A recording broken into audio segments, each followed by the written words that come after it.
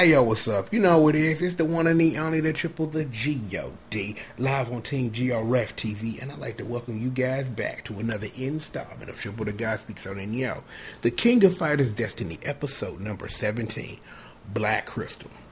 Now, this episode picks up right where we left the last one. Uh, a lot of the things that we left with Kyo looking at Chin like, yo, let me holler at you in the cut you still got Robert and Benimaru arguing over Yuri's affections and a whole bunch of stuff that's going to come into that. But one of the major important things in this episode, because it's what I like to call an established episode. Because remember, we left a couple of episodes ago where Geese is gone bye bye, and so is Angelina, and so is that running plot line of nothingness. Well, I wouldn't say it's nothingness. It, it gave Terry a chance to sit up here to establish that part of what we know of canon when it comes to SNK. But but Angelina had to go. Geese had to fall off the tower. What they gonna ultimately do with Geese, we'll see what they do with that. And more likely than not, we have not seen the last of one Geese Howard.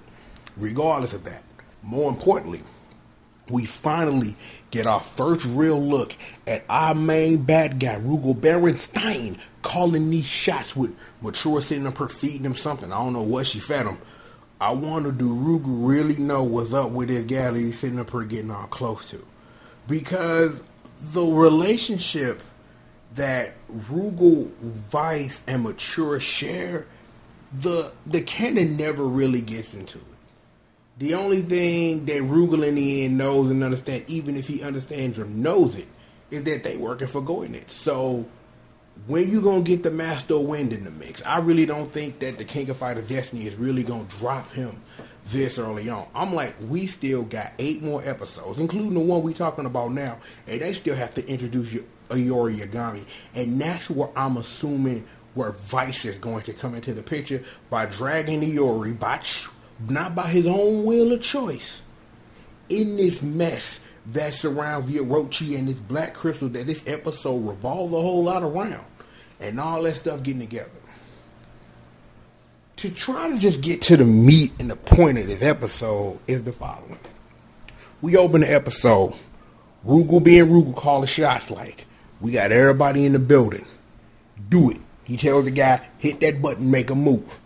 We later learn the move Rugal makes is like he's giving he he he he sent a big stinking nasty ass fart in this room where people to eat where where you still got Robert and Benimaru arguing over stuff, Mai looking for where Andy is and and Ryo being who Ryo is sat up her and knocked down a whole trade of a whole a whole plate thing of cakes and I'm just like, how you gonna waste all that cake, bruh? Regardless. So stands this big stinking nasty ass spark that knocks everybody out.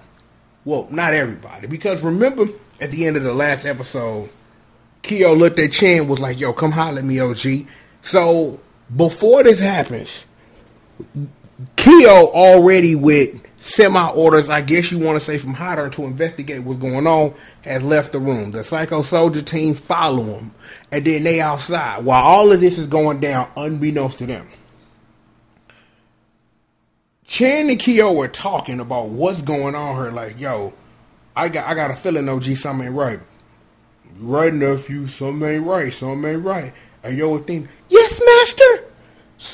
See if you can sense something with your psycho power. Understood, master. Athena trying to sit here and concentrate, and you got Kensou doing what Kensou do, just stuffing itself with meat buns, and she looks at him like, boy, if you don't quit this. Then he finally quits it, and she's trying to concentrate. It seems that she senses the Orochi, but it blocks her use of psycho energy. So it's kind of weird in that because usually Athena and the Orochi don't really get that into each other like that. Like Athena understands what's going on, but she's trying to be an idol and trying to fight too and trying to train her chin to be the best she can be. We know that Kensou has a destiny that the games never let him have because he's Kensou. You will never get the girl. You will never have the true dragon psycho power. You will have nothing. Why they treat my boy Kensou like that, I do not know. But I just figured it was worth mentioning. Shout out to Bao. Shout out to Momoko. It was really good. Just, just, just, just show, showing love. Shout out to Kaoru. Hope you get out that wheelchair, girl. Look, so all this has happened.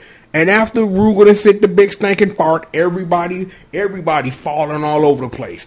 Benimaru the first to fall, and everybody start follow, start following him, and they all gathered in a circle. What's going on? Just laid out and everything.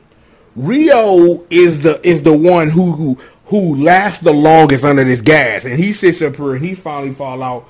Then some dudes we see at the beginning of the episode run into the room and sit up here like, real like, man, who is you? Shut up, punk!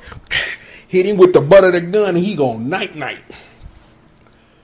Going back out to the Psycho Soldiers and Kyo, they come back into the room where everybody was and they sitting up here like, yo, what's going on? They just looking at each other trying to figure out what's really good. OG Chin like, he smells some gas. Yo, something ain't right. Yo, hold your breath while y'all up in here. This doesn't go under the notice of mature. And then you got Kyo like, yo, let's split up. And I already see where this is going, right? I can already see it, but let me let me rap with y'all and let y'all know what it is. Kyo go one way by himself, and the Psycho Soldier team go another way.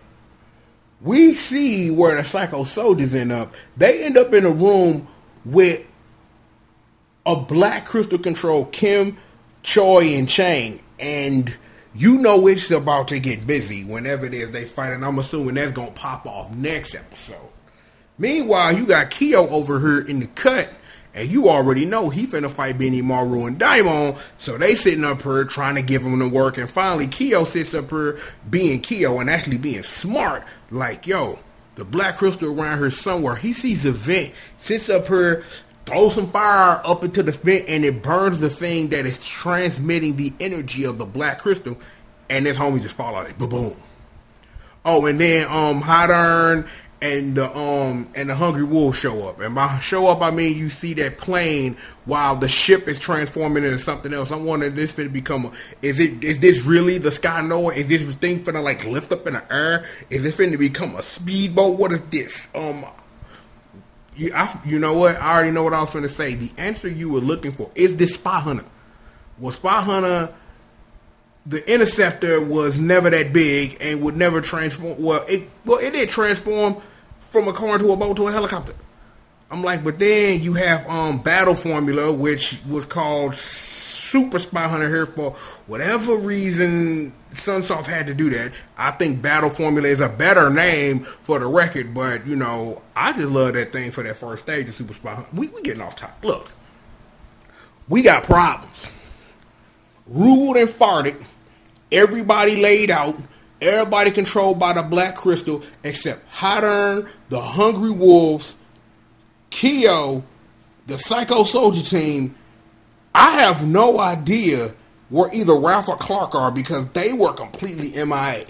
They were completely MIA. Like you saw them for like two seconds in that room with everybody else, and they've been MIA since. But you know, they Clark Steele and Ralph Jones, so of course they know something going down. So they probably wouldn't be in that room. They probably in there setting more bombs, trying to blow things up. Who knows? Ikari Warriors, bitch. Um, no, that no, they, they should scream Peregrine Falcons and let off the clip. That that that's a Metal Slug reference. I was I was playing Metal Slug 2 Turbo earlier today. Don't don't ask. Look, another great episode of the King of Fighters Destiny, and again, because this was a great establishment episode, is that I really have to wonder how ultimately we're going to get to the fight between Kyo and Rugal, which you know is determined, but you also have to legitimately wonder is where is Saishu? Where is Saishu Kusanagi? I ask this because it's very important to the plot of KOF 94 where Saishu is, and then when Saishu does come back in a KOF 95, you have the question like, huh, why? So you really got to wonder where he is. I'm like, in other news, then I just remembered it. They said where Takuma was. Then Takuma said he ate something. He like, man, nah, bro, man, I'm feeling sick, OG. Blah! Sat up here as, as A-Lo Brown would say, sat up here and gave the toilet some mouth beam. And by mouth beam, I mean throwing up in a toilet. But anyway, look. We have got a whole lot to do before we get to episode 24.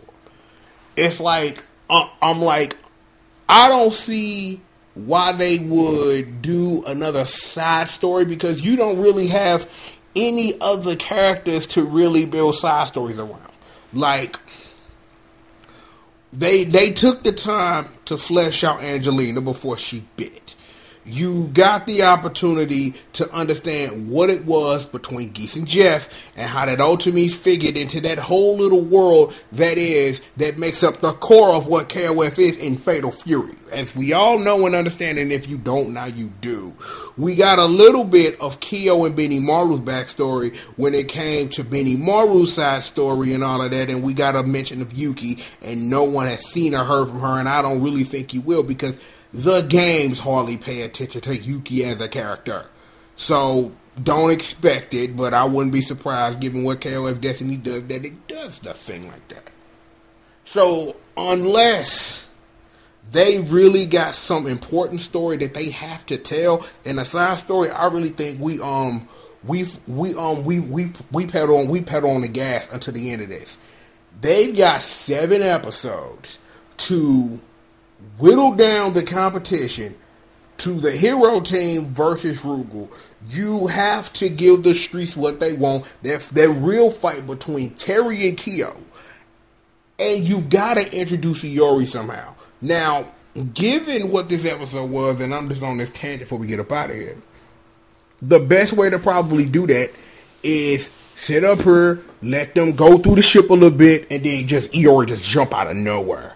That's what you do fully fully under the Black Crystal's command, all that stuff, and he just going right out of the blood berserk. And I really think that's the way they're going to do it because because they they knock geese off a tower. You don't really have the story to build around Billy and Eiji, and ultimately they beef with Iori after he tries to murder them later. So I really don't know like how they gonna introduce Iori and how that's going to affect the ring of characters that the show is revolves around.